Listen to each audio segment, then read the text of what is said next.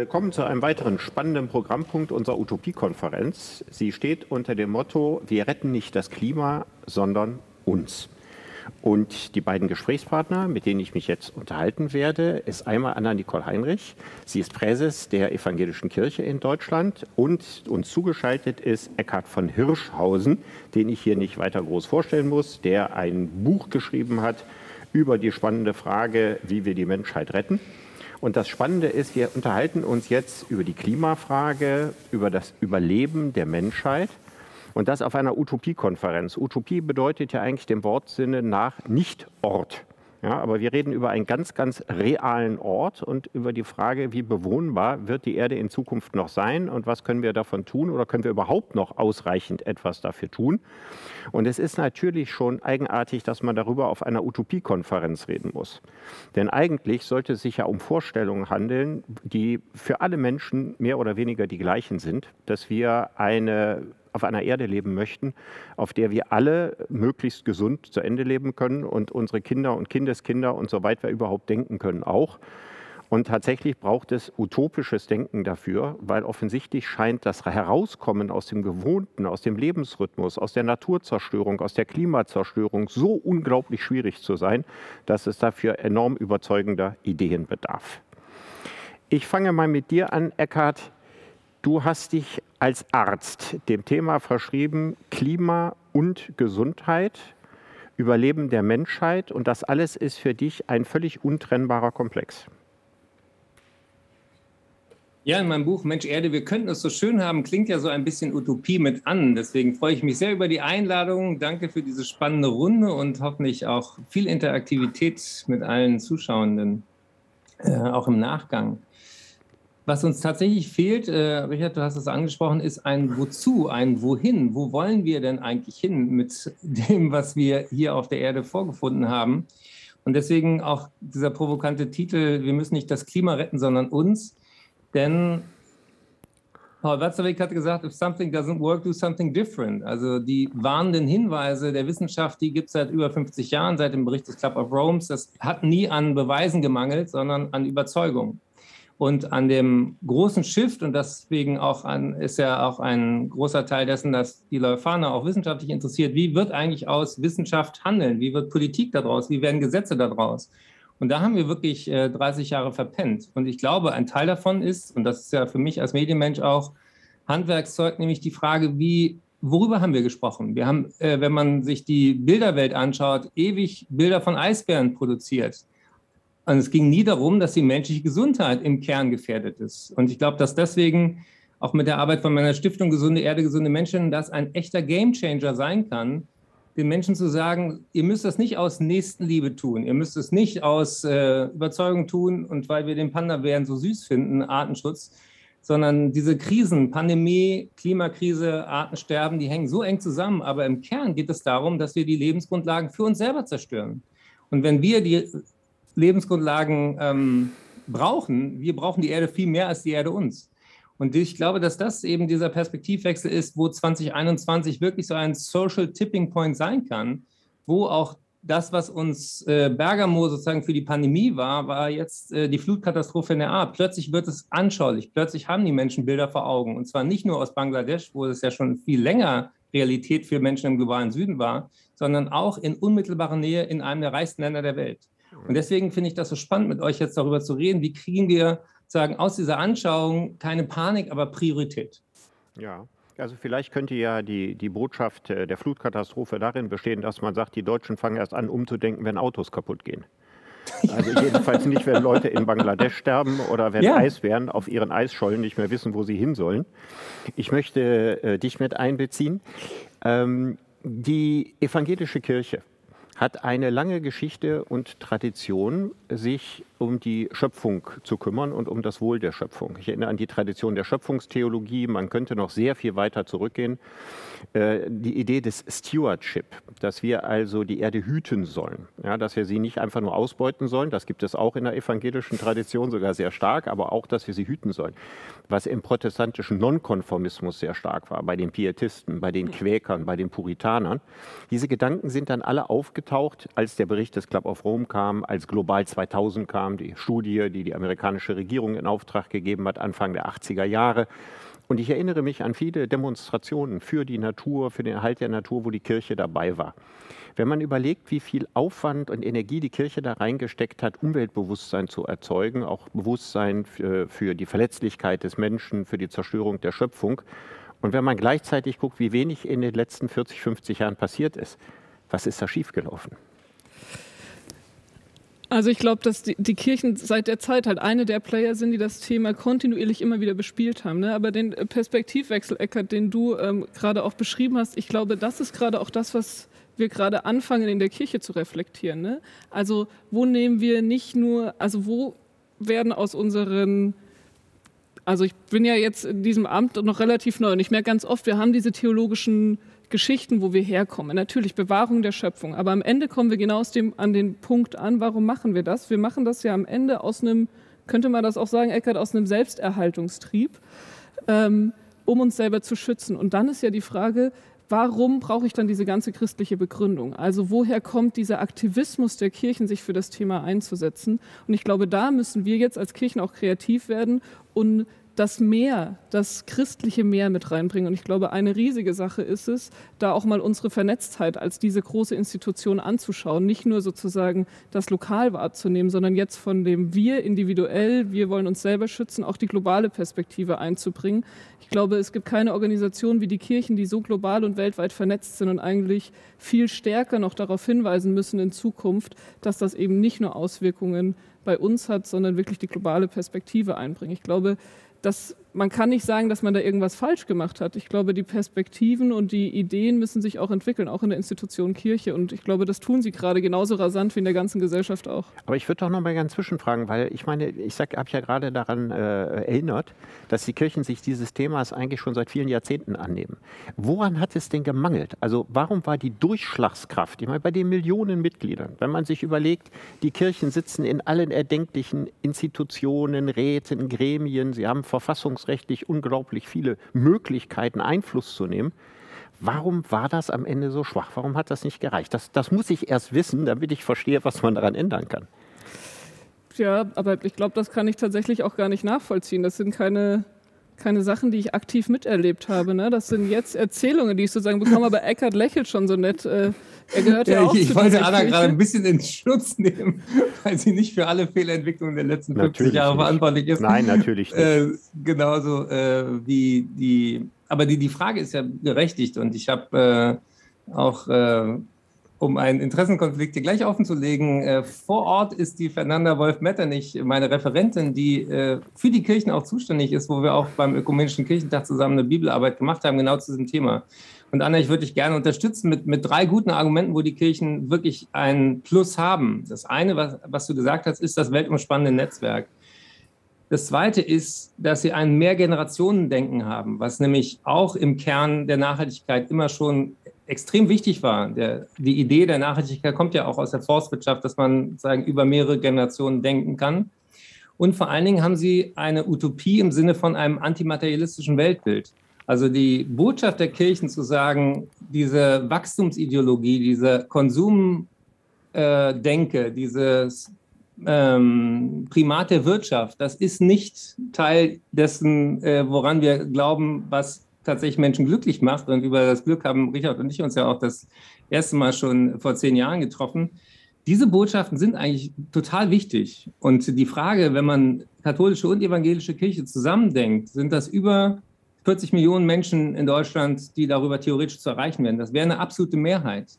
Und die Kirchen könnten, äh, Richard, du hast es gesagt, ähm, auf jedem konfessionellen Kindergarten Solarpanels haben. Sie könnten in jedem konfessionellen Krankenhaus eine pflanzenbasierte Planetary Health Diet anbieten. Sie könnten Vorreiter sein und ein Rollenmodell für sozusagen die Welt, wo wir hinwollen. Und zwar nicht erst nach dem Tod, sondern am besten jetzt schon. Und ich habe äh, ein sehr, sehr spannendes äh, Gespräch gehabt mit Annette Kehnel, die ein Buch geschrieben hat über Nachhaltigkeit im Mittelalter. Und die hat äh, mich auf einen Gedanken gebracht, den ich auch einfach mal hier in diese geistesgeprägte Runde einschmeiße. Sie sagte, ein Grund, sich fair zu verhalten den nächsten Generationen gegenüber, war im Mittelalter die Angst vor dem Fegefeuer.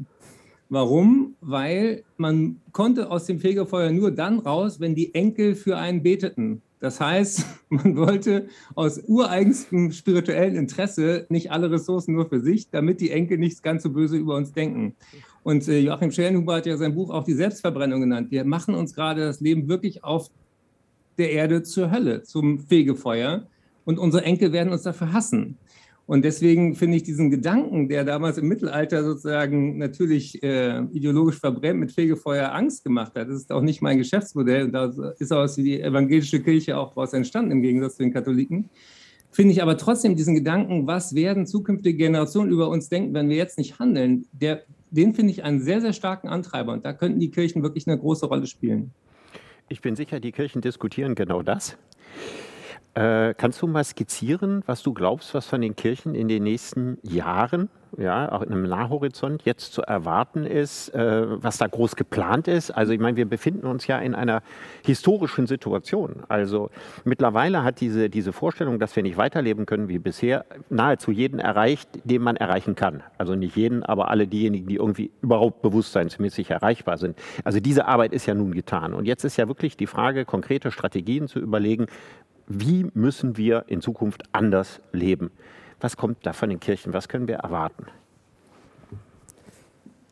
Ich glaube, wir können von den Kirchen erwarten, dass sie genau diese Diskussion führen und noch viel mehr wieder versuchen, die 20, bei der evangelischen Kirche zumindest die 20 Millionen Menschen da auch wirklich einzubeziehen und sie da abzuholen, wo sie stehen. Ne? Also nicht nur sozusagen auf einer Meta- und auf einer politischen Ebene, sondern auch ganz konkret vor Ort, weil ich glaube, die Probleme werden wir perspektivisch nur lösen, wenn wir wirklich den Großteil der Gesellschaft mitnehmen. Und ich glaube, gerade in den Gemeindestrukturen und vor Ort kann Kirche da immer noch ein Anknüpfungspunkt sein, wo wir die Menschen auch mit dem Thema wirklich nochmal essentieller in Berührung bringen.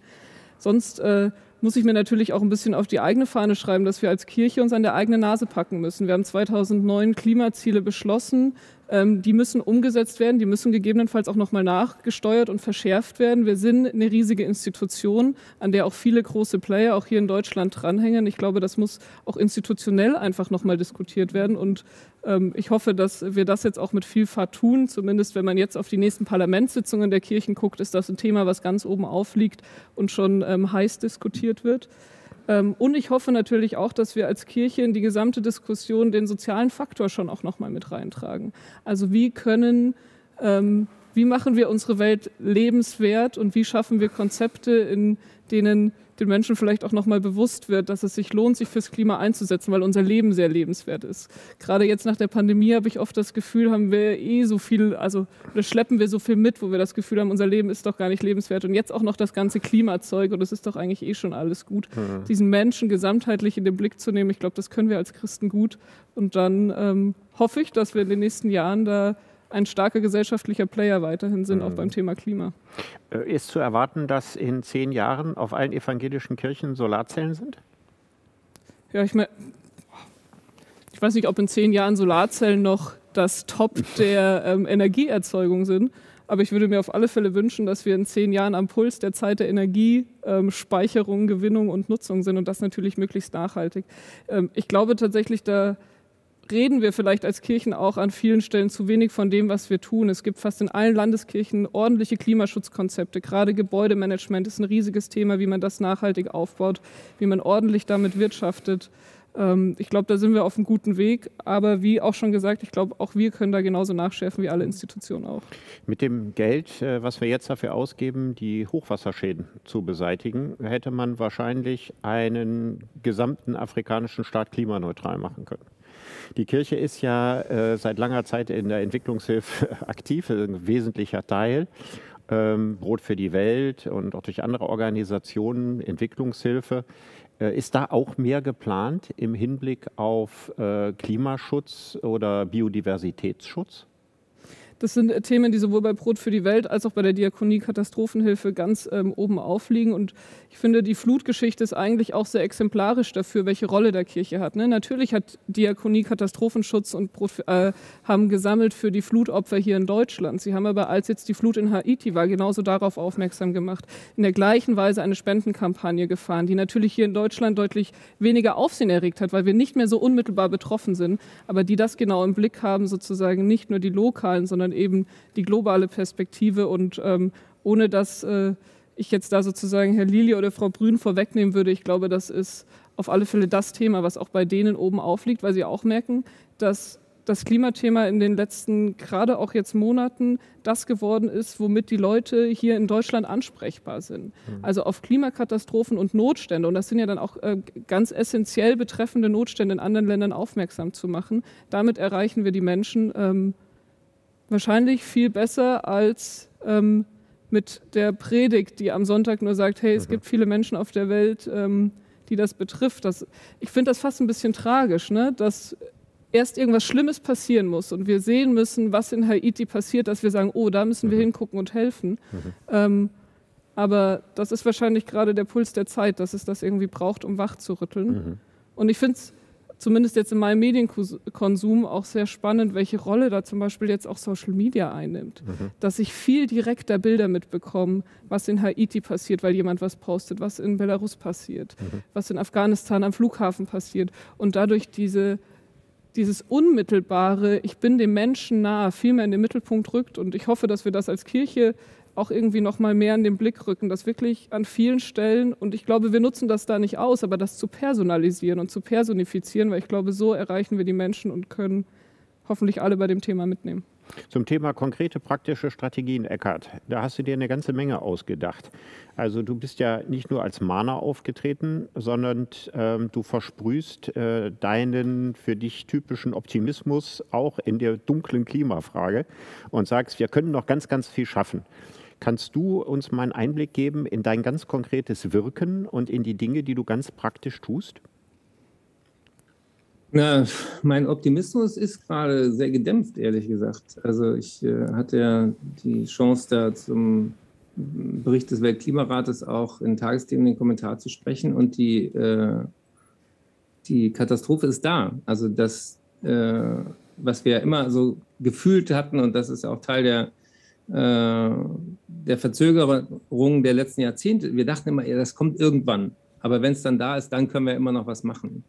Und äh, als ich damals, äh, wo die Fridays angegriffen wurden, ähm, mit die Scientists for Future gegründet habe, war, war das auch einer der, der Game Changer in, in meinem eigenen Kopf, nämlich dieser Stellenwert von Irreversibilität, von Nichtumkehrbarkeit, von ähm, planetaren Grenzen. Das hatte ich bis vor zwei, drei Jahren auch selber überhaupt nicht auf dem Schirm wie nah wir jetzt schon an diesen Kipppunkten sind. Und ähm, wir nähern uns ähm, sehr, sehr schnell diesen Punkten, wo wir mit keinem Geld der Welt mehr rückwärts wieder was gut machen können. Und auf eine Art und Weise verhalten wir uns da alle total kindisch, naiv, nämlich wir, wir, wir wie so ein Kindergartenkind, oh, ich habe das kaputt gemacht und dann, dann muss es einem leid tun und dann, dann wird einem wieder verziehen.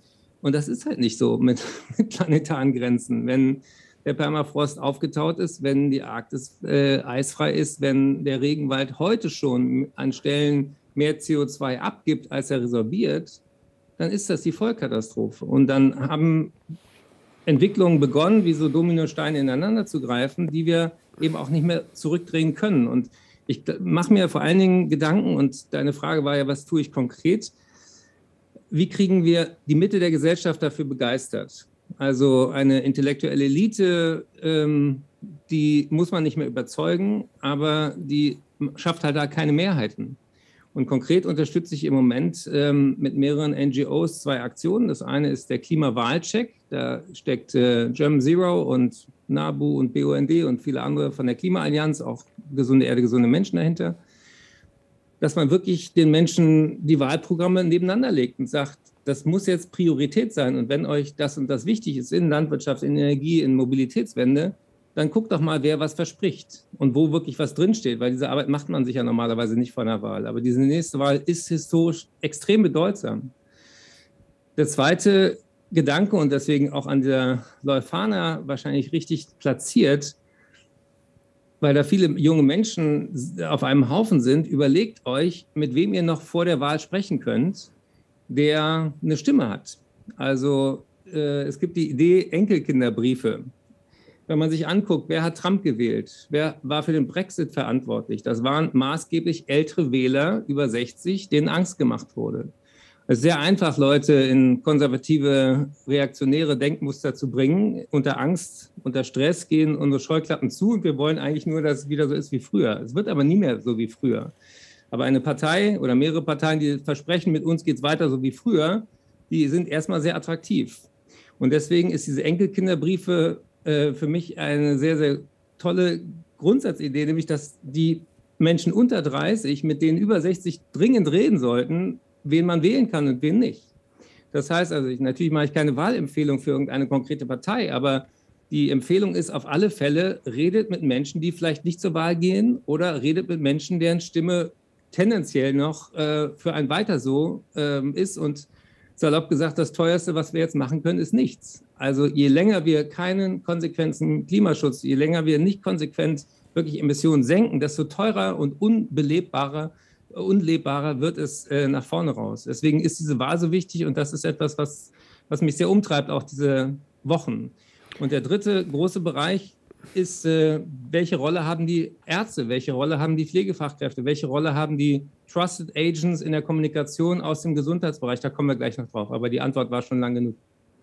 Naja, ich hätte zumindest eine Nachfrage, äh, was die Politik anbelangt. Wenn du von einer historischen Wahl sprichst, dann scheinst du anzunehmen, dass es denkbar ist, dass, wenn es gut ausgeht, wir eine Regierung bekommen, eine Regierungskoalition aus zwei oder drei Parteien, der du tatsächlich zutraust, das Ruder so rumzureißen, dass wir im Rahmen des Möglichen alles tun. Glaubst du das wirklich? Nimm doch nicht den jungen Menschen alle Hoffnung alter weißer Mann. Ich bin ja natürlich auch realistisch, dass, dass im Moment äh, keine der Parteien ein ernsthaftes Wahlprogramm hat, was ein anderthalb Grad Ziel einhält. Auf der anderen Seite sehe ich auch die ganzen äh, Gutachten vom äh, Wuppertal-Institut rauf und runter. Das Tragische an der Situation ist doch, ähm, dass wir wissen, was wir tun müssten. Es gibt auch erneuerbare Energien, die sogar günstiger sind und immer noch subventionieren wir Kohleabbau. Wie krank ist das denn? Also es wäre ja der erste Schritt, und das würde ich einer Regierung schon mal zutrauen, mal aufzuhören, das Falsche zu subventionieren, sowohl auf europäischer als auch auf deutscher Ebene. Das sind die ersten Milliarden, die man sofort zur Verfügung hätte. Mhm. Und ähm, mein Bruder ist äh, Forschungsdirektor am DEW, der hat bei der Kohlekommission diese ganzen Gutachten geschrieben, geht inzwischen auch demonstrieren im Ambacher Forst, weil er auch sagt, Wissenschaft alleine hilft nicht. Wir müssen wirklich den politischen Druck erhöhen und dazu sind nun mal Wahlen da. Und ähm, deswegen, äh, auch wenn meine Hoffnung begrenzt ist, dass diese nächste Konstellation, wo noch keiner im Moment weiß, wie die aussieht, äh, äh, sofort ins Handeln kommen, äh, besser als jetzt wird's, muss es werden. Ich, ich ja. finde ja, find ja den Gedanken eigentlich äh, ganz spannend, Eckert, wie du sagst, also, dass das hinten raus in der Wahlentscheidung mündet, ist ja nur das Ergebnis. Eigentlich hast du ja gesagt, die jungen Menschen, denen du sozusagen zuschreibst, dass sie irgendwie WachmacherInnen bei dem Thema sind, die sozusagen dieses Thema oben aufliegen haben, die haben die Verantwortung, mit Generationen zu sprechen, bei denen dieses Thema vielleicht nicht so stark oben aufliegt. Ich meine, das ist ja erstmal die Kernbotschaft. Könnte man also sagen, oder würdest du dann sagen, dass, sich dieses, dass dieses Thema nur an Wichtigkeit gewinnt, wenn es sozusagen von Person zu Person persönlich in der Beziehungsebene weitergegeben wird? Das wäre jetzt das, was ich sozusagen rausgehört ja. hätte, wenn ich alles Politische weglasse. Wenn, wenn, ich, äh, wenn ich schaue auf, auf meine Eltern, eigenen, eigenen Eltern, die äh, mit äh, den Kindern von meinen Geschwistern sehr intensiv im Austausch sind. Ja, und äh, die, ähm, mein Vater ist auch kein, kein äh, Geheimnis, der, der war jahrelang äh, Fan der FDP. Ja, ähm, die war auch mal eine respektable Partei. Äh, schon lange her. Das war vor deiner Zeit, Anna. Aber wer heute immer noch glaubt, dass der Markt das alles regelt, kann gerne das Deutschland-Streitgespräch mit dem FDP-klimapolitischen Sprecher hören äh, wo ich gesagt habe, es gibt einen entscheidenden Unterschied zwischen dem Markt und mir. Dem Markt sind Menschen egal, mir nicht. Und deswegen glaube ich eben, dass, dass auch bei allen technischen Innovationen, neulich hat äh, ähm, Elon Musk einen Preis ausgerufen, wer erfindet eine Maschine, die CO2 binden kann. Da haben kluge Leute getwittert, dürfen sich auch Bäume bewerben. Ja, also manchmal sind die Sachen so offensichtlich, dass wir immer noch denken, wir erfinden das große, äh, den großen Staubsauger für CO2. Und im Moment äh, verbrennen wir an einem einzigen Tag so viel äh, Kohlendioxid, wie Mutter Erde in tausend Jahren gebildet hat. Ja? dass das nicht zusammenpasst, da, da muss man noch nicht mal ähm, Klimawissenschaftler für sein. Aber es fehlt die Anschauung, es fehlt die persönliche Ebene. Und deswegen, Anna, was du gesagt hast, ich glaube sehr stark an dieses persönliche Gespräch, weil die Leute gucken Nachrichten, die Politik ist weit weg. Und die Menschen, auf die noch gehört werden, werden sind einerseits die persönlichen Kontakte in der Familie, und einfach über Werte zu reden. Nicht über Parteien und nicht erstmal über, ähm, wen findest du gut und wen nicht, sondern was ist dir wichtig? Oder im christlichen Kontext auch, was ist dir eigentlich heilig? Was sollte eigentlich heil bleiben? Wie wichtig ist dir ein Waldspaziergang? Wie wichtig ist es? Ähm, ich habe äh, im Buch auch ein Foto von mir als Vierjährigen, wie ich in die Ostsee springe. Ich kann heute nicht mehr einfach in die Ostsee springen, weil da Vibrionen sind, weil da äh, tote Zonen sind, weil da kein Sauerstoff mehr drin ist und, und, und. Wo ist die Unbeschwertheit? Wo ist auch die Trauer und die Wut über das, was wir in den letzten 50 Jahren zerstört haben? Und das sind ganz persönliche Gespräche, wo du praktisch mit jedem Menschen an einem konkreten Erlebnis rankommst. Und wenn man dann auch noch sagt, wusstet ihr eigentlich, dass mehr Menschen im letzten Sommer an Hitze gestorben sind als an Corona? Plötzlich redest du über, ja, was ist denn mit den vulnerablen Gruppen, mit den sozial Schwachen, die nicht alle einen Garten haben, die nicht alle eine Kühlanlage haben, die in Altenheimen sind ohne irgendeine Klimaanlage, ohne Verschattung, ohne Dachbegrünung und, und, und. Da kommen wirklich auch mit diesem Hitzeinsel-Effekt auf die Städter unglaubliche Belastungen zu. Und als erstes sterben natürlich wieder die Vorerkrankten, die älteren Menschen, die Schwachen. Müsste nicht angesichts der Lage, Eckhard, die du gerade skizziert hast, und man jetzt wirklich sagen kann, ich meine, es gibt ja diese Redensart, wir haben fünf vor zwölf, ne? die kenne ich seit 40 Jahren. Seitdem scheint der Zeiger stecken, stehen geblieben zu sein. Ja, wir haben irgendwie immer noch fünf nach zwölf, aber nach den Berichten, äh, die wir jetzt mittlerweile äh, von Wissenschaftlern bekommen, äh, dürfte der Zeiger eigentlich auf der zwölf schon klemmen. Und äh, man sich die Frage stellt, muss sich in einer solchen historischen Situation, wo wir also wirklich im, im sehenden Angesicht sehen, dass in einigen Jahrzehnten die Erde nicht mehr eine angemessene Biosphäre für den Menschen sein wird, weil wir diese Biosphäre zerstört haben, müssten die Kirchen da nicht wirklich radikal werden? Also, ich meine, das ist eine schöne Sache. Viel reden, die Leute überzeugen, bin ich immer für. Ist immer was Großartiges. Aber die Lage ist ja so unfassbar ernst, dass man sich doch jetzt aus dem Fenster lehnen müsste und müsste das, was Eckhardt ange, äh, angeprangert hat. Warum wird Flugbenzin subventioniert? Warum wird weiter Kohle angebaut? Warum bauen wir immer noch wahnsinnig unvernünftig große Autos, die bis zum Teil 17 Liter verbrauchen, einen riesen CO2-Ausstoß haben? Äh, warum gibt es immer noch Billigkreuzfahrten und wir warten nur darauf, dass das Geschäft wieder losgeht? Wir tun ja immer noch so, als wäre das alles nicht da. Also als wären diese bösen Nachrichten nur im Fernsehen, ja, und als würden die gar nicht in der Realität stattfinden. Ist das nicht eine Lage, wo die Kirche die Erde bewahren, die Menschen bewahren, die Schöpfung bewahren, viel, viel stärker auftreten müsste und sagen müsste, definitiv geht es nicht weiter wie bisher. Ich glaube, das sagt die Kirche, das sagen die Kirchen, ich glaube, das sagen die Kirchen weltweit. Ich glaube, an allen Punkten, die du gerade aufgezählt hast, muss man schon entscheiden, wer dann sozusagen auch gesellschaftlich politisch am Hebel sitzt. Ne? Also wer entscheidet am Ende? Am Ende können die Kirchen nicht entscheiden, ob Flugreisen in oder ausland erlaubt sind. Das muss die Politik entscheiden. Ich glaube, die Aufgabe von Kirche, von der Gemeinschaft der Christinnen kann wirklich sein, diese Botschaft weiterhin in den Mittelpunkt zu stellen und die Menschen anzusprechen. Und da sind wir natürlich an dem Kernproblem von Kirche, ne? dass unsere Mitgliederzahlen auch runtergehen, dass wir von den großen 20 Millionen natürlich auch nur noch einen Bruchteil erreichen. Ähm, und ich glaube, in dieser Waage zwischen den Menschen wieder mehr in den Blick nehmen, dass sich auch wieder mehr Kirchenmitglieder von uns angesprochen fühlen und wir auch überhaupt die Chance haben, aktiv unsere Themen bei denen zu platzieren und auf der anderen Seite sich politisch einzubringen. Ich glaube, das ist wirklich was, was gut austariert sein muss, dass man ähm, aus dem Christsein heraus und aus der äh, zumindest hier gut praktizierten Trennung zwischen Kirche und Staat nicht irgendwie in ganz gefährliche Querlagen kommt. Aber mal ganz kleine Nachfrage. Hat die Kirche Angst davor, dass Leute aus ihr austreten, wenn sie äh, die Klimaziele radikaler formuliert? Äh, die Kirche formuliert ihre eigenen Klimaziele radikal und ähm, es gibt äh, starke Bewegungen innerhalb der Kirche. Ne? Es gibt nicht nur Fridays for Future, es gibt auch Churches for Future, es gibt Christians for Future, die ähm, auch mit ähm, radikal aktivistischeren Gruppierungen kooperieren und äh, da kein Hehl draus machen. Und das ist total in Ordnung und das hat alles Platz in unserer Kirche. Ich glaube, da hat niemand Angst davor. Ich wüsste jetzt, ich glaube auch nicht, dass das zahlenmäßig irgendwie ähm, erhebend, also erhebt, also irgendwie eine relevante Größe kommt. Aber ich glaube, diese, wo setzen wir uns sozusagen auf eine aus uns begründeten heraus Metaebene für dieses Thema ein und wo wird es einfach zu konkret und dann eben auch parteipolitisch. Und da sind wir natürlich jetzt kurz vor der Bundestagswahl irgendwie auch in einer heiklen Situation. Äh, ich finde, Eckert, du hast es ja versucht, irgendwie charmant zu sagen, wir müssen uns da schon auch bewusst entscheiden und ich möchte aber keine Parteiempfehlungen abgeben. Ähm, das finde ich ist noch nicht mal für eine christliche. Genau.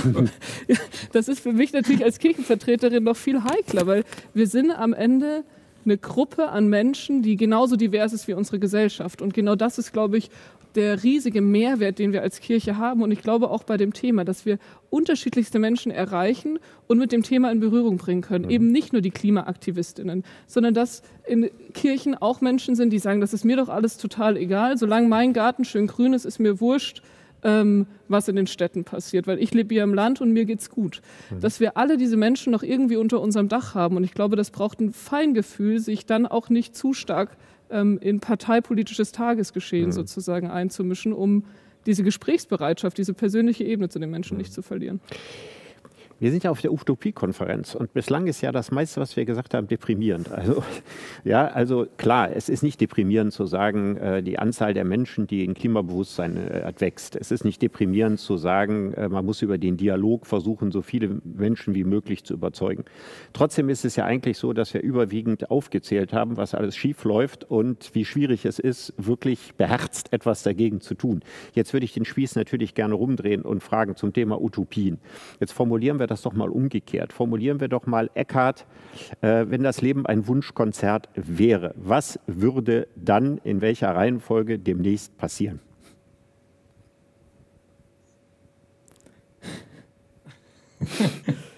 Ich habe tatsächlich äh, als letztes Kapitel ein, eine Utopie formuliert, äh, wie ich am 1. Januar 2050 aufwache mit äh, über 80 und zurückschaue, was gelungen ist.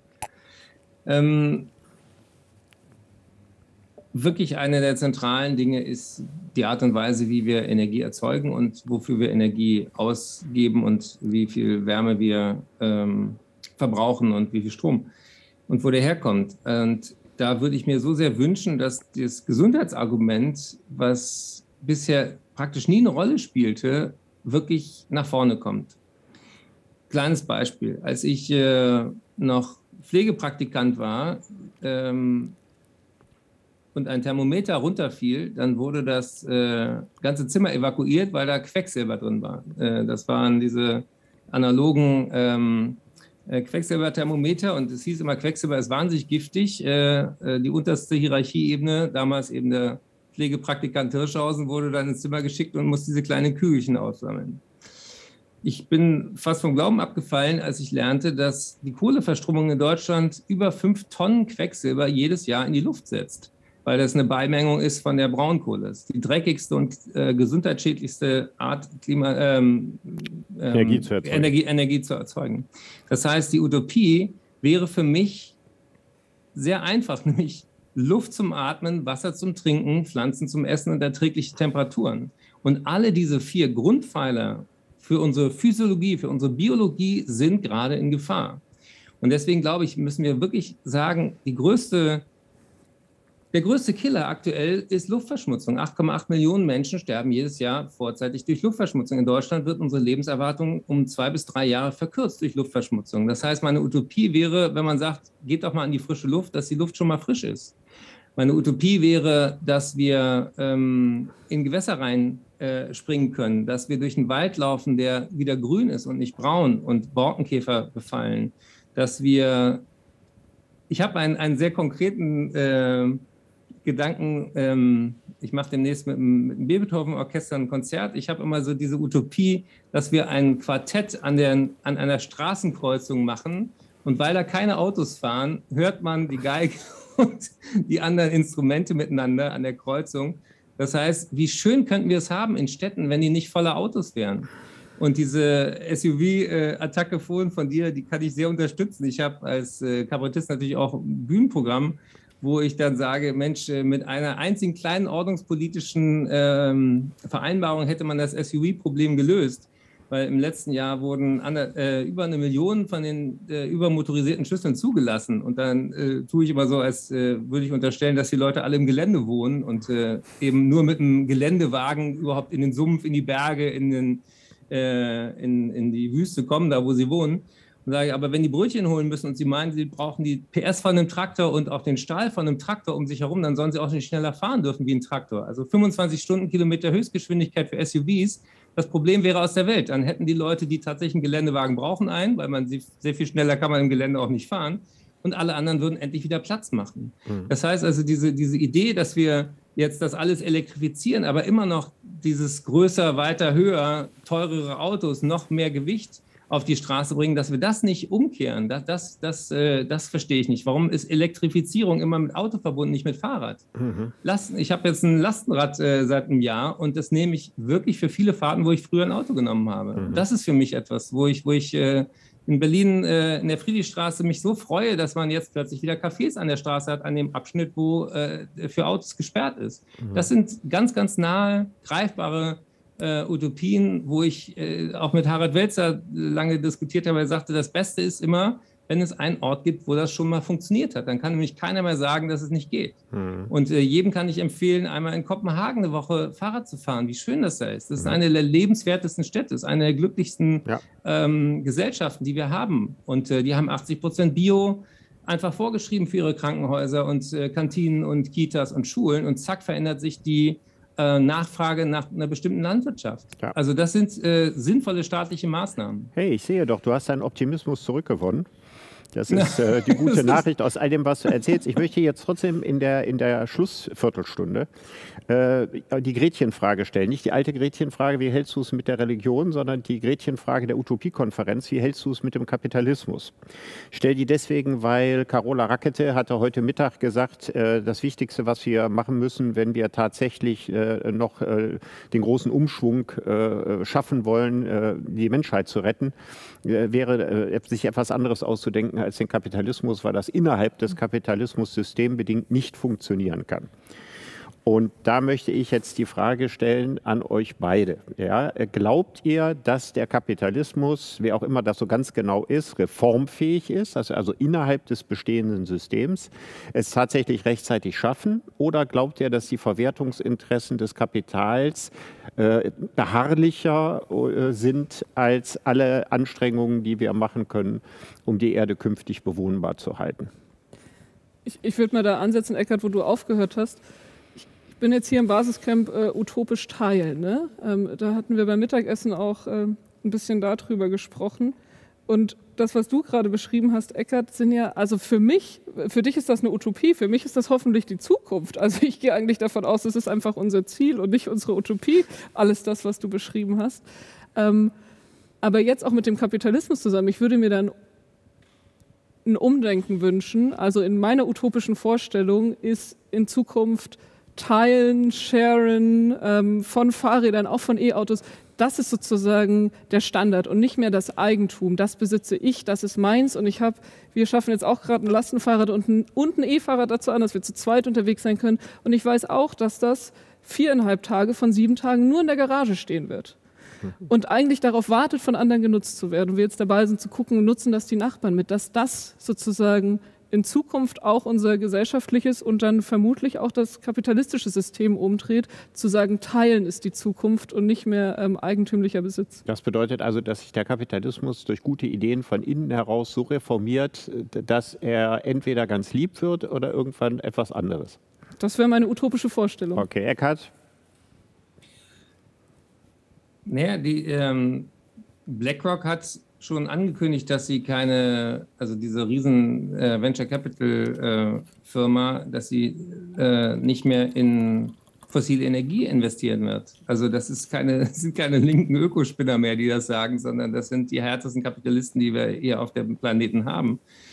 Und äh, wenn man sich anguckt, was ähm, Ilona Otto am Potsdam Institut für Klimafolgeforschung in ihrer Studie über Social Tipping Dynamics geschrieben hat, dann ist der Finanzsektor eine der ganz, ganz schnell beweglichen Dinge. Das heißt also, äh, mit neuen Spielregeln kann man da sehr, sehr schnell was verändern. Jeder, der hier zuhört, könnte fragen, äh, habe ich denn schon Ökostrom? Ist mein Konto auf einer nachhaltigen Bank? Wenn ich meine, mit meiner Oma sowieso über die Enkelkinderbriefe spreche, frage ich die doch auch mal, bei welcher Bank sie eigentlich das Geld angelegt hat, was ich irgendwann vielleicht mal erben könnte und, und, und. Das ist ja ein Riesentabu, über Geldanlage zum Beispiel zu sprechen. Ähm, damit geht's los, dass man den Leuten, die diese Erde am schnellsten zerstören, das ist maßgeblich die fossile Energie, den äh, Stecker abdreht, indem man einen CO2-Preis festsetzt, der so hoch ist, dass es wehtut. Und wenn man die Schäden einpreist, sagt das äh, Umweltbundesamt, ist man mindestens bei 200 Euro pro Tonne. Und im Moment sind wir irgendwie bei 50. Und wir haben seit dem äh, Emissionshandel haben wir erstmal die, die ersten zehn Jahre irgendwie äh, bei völlig irrelevanten Werten herumgedümpelt. Das heißt also, selbst diese Marktinstrumente haben überhaupt nicht funktioniert. Man kann den Kapitalismus ähm, als Ganzes wahrscheinlich schwer abschaffen, aber er braucht auf alle Fälle Spielregeln, die gemeinwohlorientiert sind. Und äh, das heißt zum Beispiel eben die Schäden einpreisen und ehrliche Preise zu bezahlen. Und nochmal, um ein bisschen saloppes Beispiel zu geben, in dem Moment, wo man verordnen würde, dass man für jedes Kilo Fleisch an der Supermarktkasse so ein 20 Liter einmal Gülle mit ausgehändigt bekommt, dann wird dir plötzlich bewusst, was du da einkaufst. Und dann heißt es von der Kassiererin so, das haben Sie mit eingekauft, das nehmen Sie jetzt schön mit nach Hause, schauen Sie mal, wo Sie das entlagern. Die Flächen äh, in der Landwirtschaft können nicht mehr Gülle ab, aber vielleicht haben Sie zu Hause noch ein Plätzchen, brauchen Sie einen Deckel oder geht das so mit? Viel Spaß beim Grillen. Du änderst Verhalten in der Sekunde, wo du auch die Konsequenzen transparenter machst in den Preisen. Warum haben wir nicht am Supermarkt ähm, eine Regalbeschriftung, wo der CO2-Rucksack von den Dachen drinsteht? Ich glaube, die Menschen sind lernfähig und ähm, auch Preise müssen sagen äh, Wahrheit ausdrücken. Und das tun sie im Moment überhaupt nicht. Erst recht nicht aus Sicht der Zukunft. Und deswegen fände ich das auch äh, eine spannende Frage. Aber äh, nachdem du uns immer Löcher im Bauch gefragt hast, äh, würde ich doch gerne mal wissen, wie du das siehst mit, dem, mit der Gretchenfrage und dem Kapitalismus. Ja, also als, als wenn ich eine einfache Antwort darauf hätte. Also ich finde die Frage natürlich auch spannend und eins ist klar, ich meine, äh, keine Partei äh, wird bei uns in absehbarer Zeit den Kapitalismus abschaffen und ein unglaublich gutes Alternativmodell dafür haben. Also da müssen wir ganz realistisch sein. Wenn sind es tatsächlich, und ich glaube, das teile ich mit euch, äh, sind es Veränderungen im Inneren des Kapitalismus. Der Kapitalismus ist ja äh, ist enorm anpassungs- und veränderungsfähig. Ich meine, der Kapitalismus, der die Kinder in die Bergwerke geschickt hat, der Manchester-Kapitalismus ist nicht der gleiche wie die soziale Marktwirtschaft. Und es kann natürlich durchaus sein, dass er sich evolutionär weiterentwickelt, so dass er also seine andere hässliche Fratze, also nicht nur die der Ausbeutung von Menschen, sondern der Ausbeutung der Natur, dass das geringer wird. Das könnte ich mir auf jeden Fall vorstellen.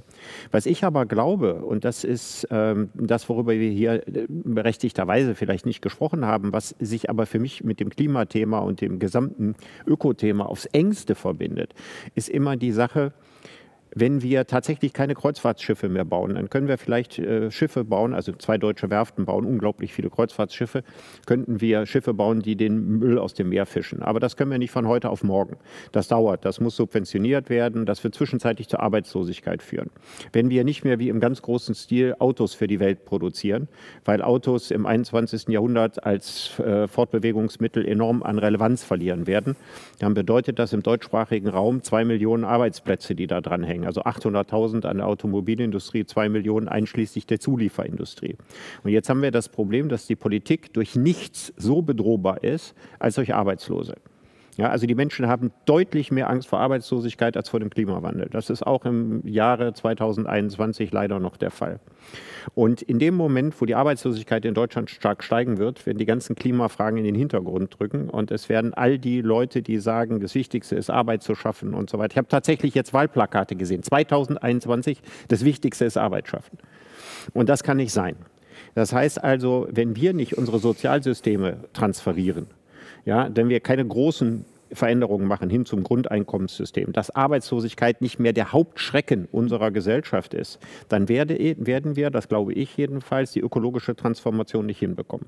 Das ist auch der Pferdefuß äh, bei Parteien, die durchaus ein großes Bewusstsein haben für das, was ökologisch getan werden muss, dass nicht genug soziale Ideen dahinter sind, was man nicht noch alles verändern muss, damit man tatsächlich eine entsprechende ökologische Politik machen kann. Also die Bedrohbarkeit durch Arbeitslosigkeit, wenn die nicht verschwindet, glaube ich, werden wir es nicht schaffen. Und deswegen ist wichtig, dass wir die beiden Dinge zusammendenken. Und was ich auch denke, ist, es darf nicht sein, dass äh, Parteien, die eine ökologische Transformation vorantreiben, erpressbar sind dadurch, dass man sagt, das können sich die Niedriglöhner, die können sich das nicht leisten. Wir brauchen also eine umfassende Steuerreform, dass Leute, die in Deutschland unter 20.000 oder 25.000 Euro im Jahr verdienen, dass sie überhaupt keine Steuern zahlen. Da macht es nämlich auch nichts aus, wenn sie mehr fürs Benzin bezahlen müssen. Das heißt also, wir dürfen das nicht, nicht auf dem Rücken äh, der, der Niedrigverdienenden machen. Und es ist ja erstaunlich, dass Parteien wie die FDP oder CDU plötzlich ihr Herz für die Leute entdecken, die wenig Geld in der Tasche haben ja, und sich das Benzin nicht mehr leisten können. Ja, und das könnte man ganz einfach machen, indem man umfassende Steuerreformen braucht. Ich wollte nur sagen, ich glaube, dass diese Sachen, also alles das, was wir technisch machen können, das, worauf wir in Zukunft verzichten müssen, also Veränderung unseres Lebenswandels, einhergehen muss mit großen sozialen Transformationen. Aber ich will ja nicht das Schlusswort sprechen, sondern ich hätte in den letzten fünf Minuten gerne eure Statements dazu. Nee, ich äh, will noch mal auf dein äh, Stichwort Verzicht eingehen, weil ähm, ich verzichte gerne auf Herzinfarkt und Schlaganfall beispielsweise was in der Planetary Health Bewegung, in dieser One Health Bewegung, dass wir die Gesundheit von Menschen in der Abhängigkeit von der Gesundheit des Erdsystems und der Gesundheit der Tierwelt und der Biodiversität stärker verstehen, ein ganz, ganz zentraler Punkt ist, ist die Idee von den Co-Benefits, dass wir das nicht machen, sagen, aus äh, protestantischem Selbstkasteiungstrieb, sondern dass wir sagen, wenn ich zum Beispiel pflanzenbasiert mich ernähre, ist das gut für meinen Körper, es ist gut für die Tiere und es ist gut für den Planeten. Das ist diese Co-Benefit-Idee. Wenn ich mit dem Fahrrad durch eine Stadt fahren kann wie Berlin, ohne dass ich vom LKW äh, übermüdet, äh, ohne, ähm, ab, ähm, ohne Spiegelsystem überfahren werde, das ist doch kein Verzicht, sondern es ist ein Gewinn an Lebensqualität. Und deswegen gerne mein Schlusswort, überlegen wir doch mehr darüber, wie schön wir es haben könnten mit dem, was hier vorhanden ist. Und da knüpfe ich an an ein Gespräch, was ich mit Jane Goddard hatte, die mir mitten im, im Interview die Rollen vertauscht. Und da hat sie mir eine Frage gestellt, die für diese Utopie-Konferenz vielleicht auch Leitfrage werden können. Sie fragte mich direkt, sie ist ja Schimpansenforscherin, und sie sagte, wenn wir Menschen immer betonen, wir sind die intelligenteste Art auf diesem Planeten, warum zerstören wir dann unser eigenes Zuhause? Und wenn ich Vorträge halte oder auf der Bühne bin, dann frage ich direkt das Publikum, Hand hoch, wer von Ihnen, wer von euch kackt regelmäßig in sein eigenes Wohnzimmer? Dann gibt es immer ein Lache und dann meldet sich natürlich keiner. Aber ich sage, ähm, wir müssen aufhören, diese Getrenntheit von der Natur vorauszusetzen.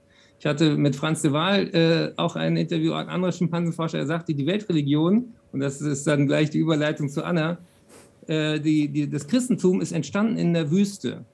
Da gibt es Skorpione, da gibt es Schlangen, aber da gibt es keine Menschenaffen.